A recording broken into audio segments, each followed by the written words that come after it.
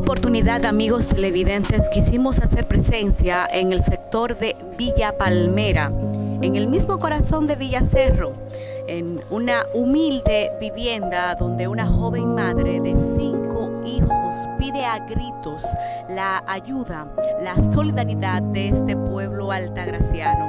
En condiciones de extrema pobreza, esta joven se ve obligada a enfrentarse al a día junto a sus hijos, sin un techo seguro, sin alimentos seguros, sin saber qué va a proveer, qué va a llevar a la mesa para que sus pequeños puedan comer día a día.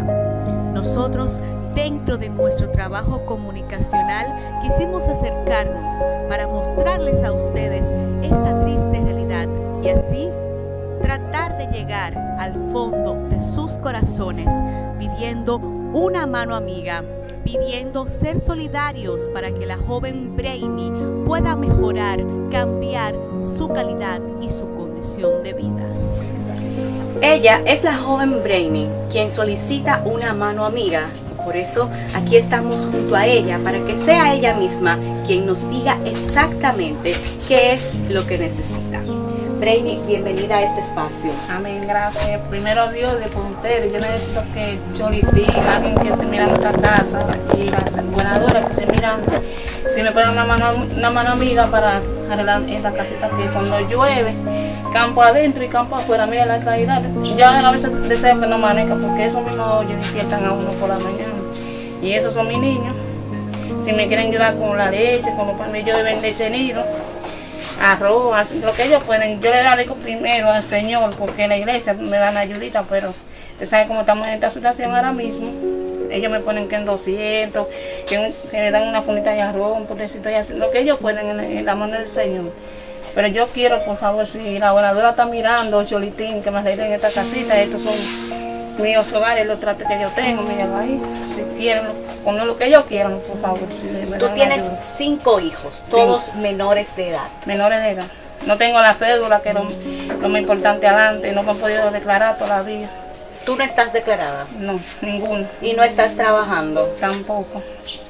Generalmente la iglesia y algunos de los vecinos son quienes te meten la mano, como decimos los dominicanos, para la alimentación. Y yo hago chiripa, también hago lavado por casa. Antes me llamen yo voy a lavar, pero la primera la, la gente son los que me dan la ayuda a la gente de la iglesia, que yo le agradezco mucho. Me ponen a veces un 200 me regalan una punita de arroz, un potecito de aceite, lo que ellos puedan, ellos me regalan. Baby, algo que nos preocupa mucho, ya que me dices que ninguno de tus hijos están declarados, ¿ninguno de ellos está recibiendo docencia, no están en algún plantel educativo? No, por la falta de los papeles. Y me están pidiendo los papeles de la, la niña está estudiando, entonces me la, me la van a despachar de la escuela porque no tengo el papel de ella todavía. Pero en el, en el nombre de Dios yo sé que mi hija va a terminar que tú. ¿Qué otra cosa dentro de aquí de la vivienda tú necesitas? Porque he visto incluso la mala condición de la cama en la que duermen los niños. Aquí falta de todo realmente. Claro que sí. De, de todo, de todo. Mira que no tengo casi ni, ni asiento casi. Mira para allá. Lo que puedan ayudarme. ¿A quién pertenecía esta vivienda? A la madre mía que me la regaló y ella murió.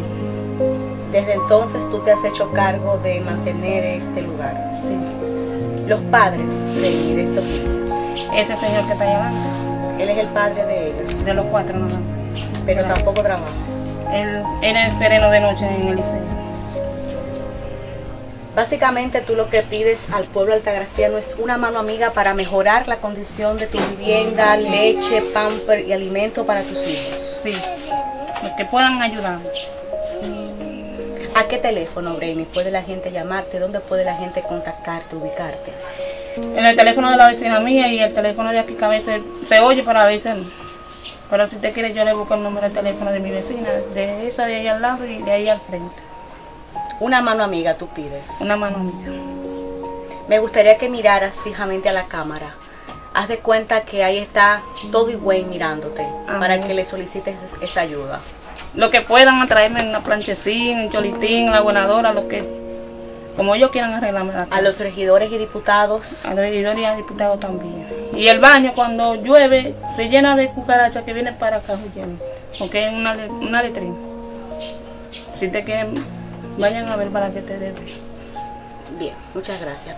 En esta situación que pueden ustedes observar a través de estas imágenes es como duerme esta joven madre junto a cuatro de sus cinco hijos menores de edad. Por eso quisimos hacer este trabajo apelando a la sensibilidad, al buen corazón de todos los altagracianos, para que juntos nos unamos a esta causa y ayudemos a cambiar la vida de esta familia. Querer es poder. Y juntos podemos transformar esta humilde vivienda y mejorar la condición de vida en la que estos niños se enfrentan al día a día, sin un acta de nacimiento, sin un papel que les permita recibir el pan de la enseñanza. Pueblo altagraciano, tú que siempre has sido solidario, este es el momento, esta es la oportunidad de dar una mano amiga y ayudar a esta familia. Necesitamos hojas de zinc, necesitamos corchones, sábanas, alimentos, pamper, leche para los más pequeños, todo lo que en su corazón sientan aportar. Las imágenes hablan por sí solas, pero sin duda alguna esta es la gran oportunidad para que juntos hagamos la diferencia Hoy por Brainy y su familia, mañana por cualquiera de nosotros. Y güey, ellos te necesitan. Únete a esta noble causa.